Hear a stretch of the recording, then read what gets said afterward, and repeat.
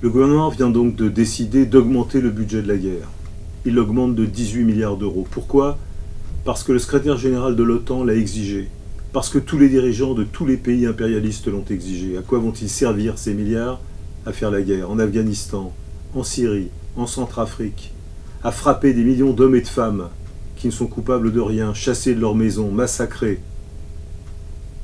Cet argent, ce pourrait être 800 000 emplois payés au SMIC pour les jeunes.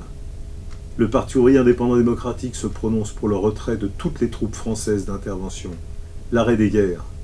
Cet argent, ce doit être pour un vrai travail, un vrai salaire, la possibilité de faire de vraies études pour toute la jeunesse. À bas la guerre, à bas l'exploitation.